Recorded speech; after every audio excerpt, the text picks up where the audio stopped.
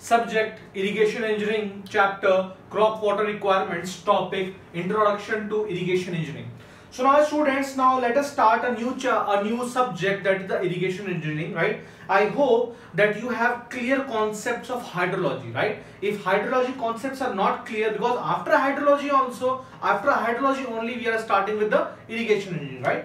Because only after hydrology we come uh, we come to the next uh, you can say the next subject that is the irrigation engineering right so in the first topic the introduction to irrigation engineering. So first of all let us discuss what is actually irrigation right? So you must be knowing what is irrigation. We are applying water to a particular field. We are growing crops. It can be a cash crop. It can be any other crop right? It can be a rabi crop. It can be a, a kharif crop right? So we are applying water right? Okay so this is the you can say the layman thing or the uh, basic idea or the gross idea you know about uh, irrigation right now as far as the technical idea is concerned if somebody asks you in interview that what is irrigation engineering so what you will say that irrigation engineering is an an artificial application of water is an artificial artificial application of water application of water to crops crops from sowing to harvesting from sowing to harvesting from sowing to harvesting right? That it is an application it is an artificial application because you are applying your water to a particular field to a particular crop artificially right? So these uh, artificial application of water to crops from sowing to harvesting. Sowing means that when you are sowing the crops the initial period and harvesting when you cut the crops right? And the period between sowing and harvesting this time period is known as crop period. Crop period. So the time period between sowing and harvesting is known as crop period. Okay. Now I hope that you have understood if somebody asks you in, uh, you can say uh, in an interview that what is irrigation engineering, you will be able to answer the question. Right? Okay. Now the thing about irrigation engineering, before starting the irrigation engineering subject, so let me tell you one thing that in irrigation engineering, if the GATE authorities, they are setting question paper, the you can say uh, they do not uh, play much with the concepts because concepts are more or less the same right? Uh, if, even if i am teaching you some other faculties teaching concepts are all same but the you can say uh, the uh, the GATE authorities they are playing with the words actually right? So in irrigation engineering words should be uh, kept in mind that which word is to be used. For example when i'll be teaching irrigation engineering inundation in uh, inundation irrigation we have the flood irrigation right? We also have the artificial natural irrigation. So what are these types of irrigation? So are so the GATE professors they can play with words right in irrigation engineering clear? So this was about the crop period. Now let's uh, first of all so uh, now starting the introduction of to into uh, irrigation engineering now let us first of all understand the types of irrigation right? So what are the various types of irrigation and which i am going to teach you right now is very important because many times theoretical questions have been asked from this topic. Even recently it was uh, some state PS exam or uh, I guess SSC JE exam. So this question was asked from this table. I'm going to draw a table about the types of you can say irrigation, right? So we have three types of irrigation. Let me rub this. So we have three types of irrigation. Now this table is very important. This should be on your fingertips. The table which I'm going to draw right now, right? So types of irrigation. So types of irrigation types of irrigation, right? So broadly classifying the irrigation is classified into three types. So the first type is surface irrigation. Surface irrigation. The second type is, if it is surface, it will be subsurface or below the surface, right? And there is subsurface irrigation. Subsurface irrigation. And the third type is known as the overhead irrigation overhead irrigation overhead irrigation right Now let us discuss about the surface irrigation. So as from the name, because being a civil engineer, you should play with names, right? So as from the name, it is clear that surface means on the surface. So what we are doing in a surface irrigation, we are allowing water, we are giving water to a particular field, to a particular land where, uh, in which the surface gets wet. So the surface becomes wet. So in bracket I am writing surface is wet. Surface is wet. It also has few types that I will be telling you, right? Now coming to the subsurface, if the surface is wet, obviously here surface will be dry. So surface surface is dry. Clear? Now what about the over, overhead irrigation? So in overhead irrigation what we do the basic you can say the most important type of overhead irrigation is known as the sprinkler irrigation right. So in sprinkle what is happening? A type of rain is there right sprinkle the water is sprinkled on the plants right. So you can say the most important type of overhead irrigation is sprinkler system. Sprinkler system sprinkler system is the most important type of overhead irrigation. Clear? Now let me tell you about the surface irrigation. What we are doing is that this is a land, right? This is a land. Uh, cro crops are there in uh, on surface of uh, land. We have crops, right? So what we are doing is that we are providing water.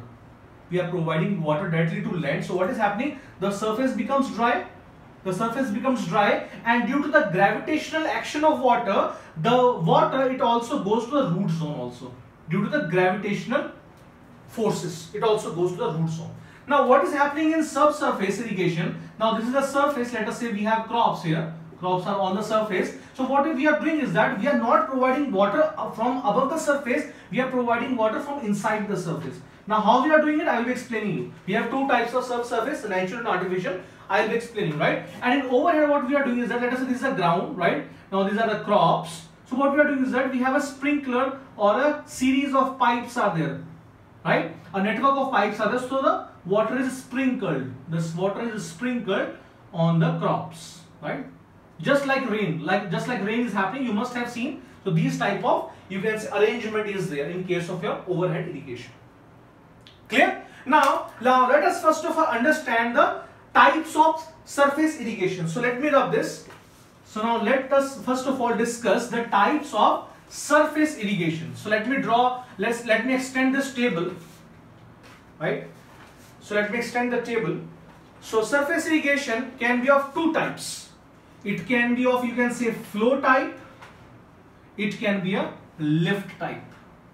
Lift type irrigation. So what is happening in flow, we are allowing water to just flow over the land. And what is happening in lift type, now lift type of irrigation, you must have seen the uh, tube wells the water pumps. What we are doing is that we are taking water from ground we are taking groundwater and then we are doing irrigation. So you can see in flow type irrigation the water is applied from a, from a, a higher elevation to lower elevation. In case of a lift irrigation water is applied from water is lifted from a lower elevation and provided to a higher elevation right? So uh, in bracket i am just writing to make you understand. In you can say uh, the lift irrigation so lower to higher elevation lower to higher elevation.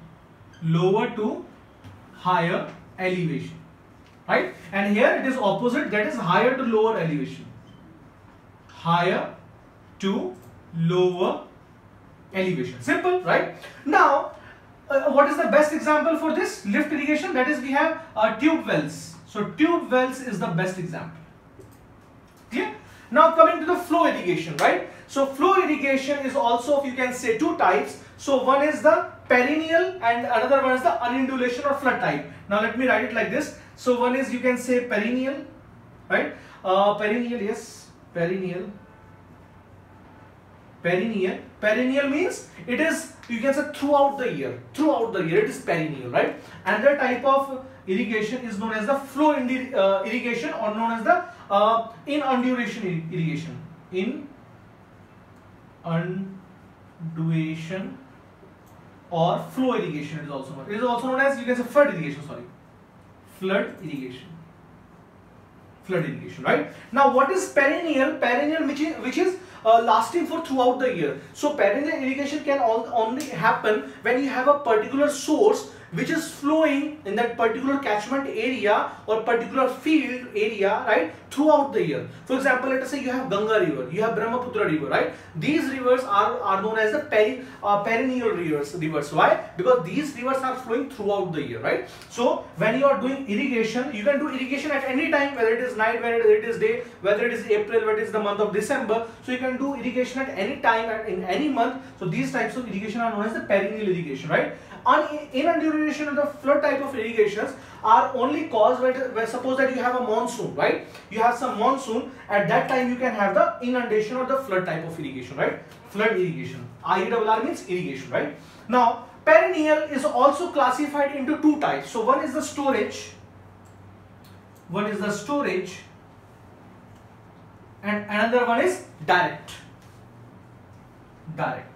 So in storage, what we are doing is that we are making some storage structures. For example, you are making a dam, right? Let best example would be dam. Let me use another marker to make you understand. Let us say that we are using dam right so in dam what we are doing is that we have stored water. So when we have stored water the water which will be utilized the stored water for irrigation purposes is known as the storage irrigation. Now what is direct irrigation? Direct irrigation what we are doing is that we are providing a barrier. For example uh, it, it, can be a barrage it can be a weir. In canal regulatory works i'll be explaining what is barrage and what is weir. So we are uh, providing barrage or we are providing weir and we are stopping water and then we are you can say diverting water in canals right? So that type of irrigation is known as a direct irrigation. Clear? So uh, the example is dam. For here we have barrage or weir, barrage or weir, etc. Clear? Perennial, you can say 24 into 365 right and what is undulation of flood tide sometimes like, like best example would be monsoon best example monsoon and here the best example would be ganga Ganga river or Brahmaputra etc. Okay, so lift type is also uh, has also been taught. Now coming to the subsurface irrigation, right? So subsurface means it is happening, the irrigation is happening below the surface of earth, right? So subsurface irrigation is also classified into two types. So let me draw with the let's say a black marker, right? So no need to uh, go much in detail for the overhead irrigation. So sprinkler is the best type of overhead irrigation. So now coming to the subsurface, so subsurface is also classified into two types. First one is natural, natural, and the one is artificial. Artificial. Now coming to the natural. Natural from the name it is clear it is happening naturally. So we have two cases in which the water can be applied direct to the you can say roots of the crops or roots of the plants. We have two types of cases. The first case would be just apply some rain, apply some rain. So first case would be suppose that we have a canal. Let us say a canal is there. Let us say a canal is there. This is the canal. Clear? This is a canal. Some water is going in the canal and let us say here the canal is at a higher elevation and let us say at a lower elevation we have some crops. Let us say we have some crops here. Now we have some crops here. So what is happening? There are two types of canals. One is a lined canal, another one is a non-lined canal, right? So what are lined canals? Now to prevent seepage, if you apply, you can say some concrete or you can say tiles or anything on the periphery of the canal, then seepage losses are minimal or very less losses and these types of canal are known as lined canals, right? And the type of canals in which you do not provide any type of, you can say, uh, uh, any type of uh, structure or any type of protection for the seepage, those canals are known as the unlined canals. So let us say that you have an unlined canal. It means that no tile, no concrete, nothing has been provided. So what will be happening when discharge is there in the canal, there can be seepage. There can be seepage like this. Seepage is basically loss, losses of water. Seepage can be there, right? Seepage you must have studied in detail while uh, uh, while going through the geotechnical engineering part, right? So seepage, due to seepage, this seepage water can go to the root zone, can go to the root zone of plants directly, right? So this type of irrigation is known as uh, this type of irrigation is known as subsurface, and the class would be natural type, right? Naturally, and the type of irrigation can be like this. For example, you have crops. This is the water table right? Due to capillary action, due to capillary, What is capillarity? You must have studied in geotechnical engineering. So due to surface tension, the water it moves up due to surface tension, right? That is known as the capillarity. We have various formulae, the height, uh, the height up to which the capillarity action can take place. H is equals to 4 sigma upon rho GD. You must be having, you must have heard. HC is equals to capillarity height is 4 sigma upon rho into g into d 4 sigma cos theta nearly uh, theta is taken as you can say 0 degree. So that is 4 sigma upon rho gd from there you can get the maximum height of capillarity right? So due to capillarity action this is your water table right? The water can go or can reach up to the root zone of plants due to capillarity action right? So that is how also irrigation tank can take place. So these types are known as the natural type of subsurface irrigation.